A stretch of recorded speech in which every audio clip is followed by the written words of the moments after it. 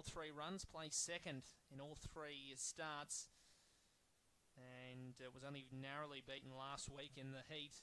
First line's placed away now, second line coming forward. This is race number five. Fave continues to firm Hilly, Hillbilly Boots to 230. Green light on now. The Bundaberg Maiden 1000 final. We're set and ready for action. Right to jump. Favourite from box two. Ready.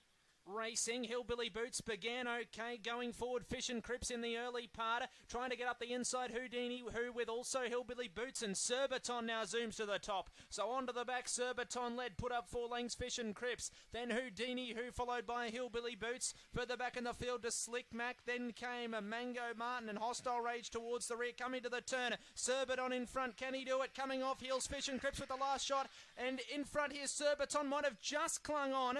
Fish and Crips and in front front. Can he do it? Coming off heels, Fish and Crips with the last shot. And in front here, Surbiton might have just clung on. Fish and Crips and also Houdini who were flashing at him. Then 1 and 2, 7 5, 1 and 2, 27 16.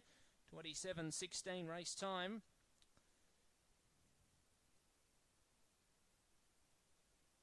A half head by